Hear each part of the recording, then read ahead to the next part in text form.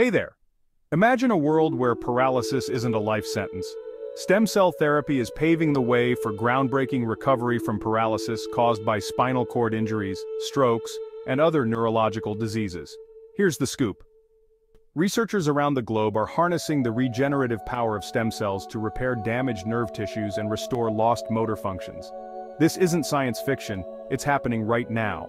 Recent studies have shown that neural stem cells or NSCs and mesenchymal stem cells or MSCs can regenerate damaged nerve cells and repair spinal cord injuries.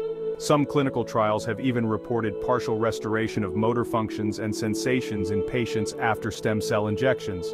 This means that stem cells can promote the creation of new nerve pathways and help repair damaged ones.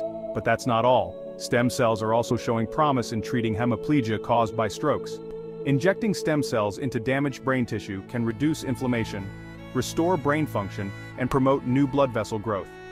This can accelerate rehabilitation and improve motor functions, offering a significant boost to the quality of life for stroke patients. Now, let's be clear. Stem cell therapy is still in its early stages. More research is needed to ensure long-term safety and consistent therapeutic effects. But the potential here is huge, Stem cells are opening new doors for recovery and are considered a major turning point in regenerative medicine. If research and technological advancements continue at this pace, stem cell therapy could become an innovative treatment that restores mobility and independence to paralyzed patients. The future looks bright, stay hopeful and stay informed. Until next time.